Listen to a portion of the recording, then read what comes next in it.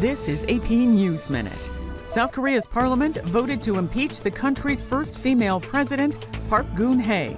She has been dealing with a corruption scandal that has left her isolated. Wisconsin's presidential vote recount could be stopped. A federal judge will consider it in a hearing on Friday.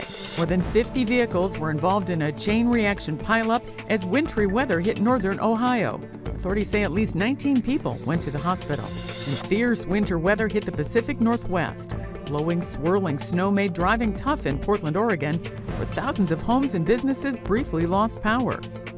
Sandy Kozel, The Associated Press, with AP News Minute.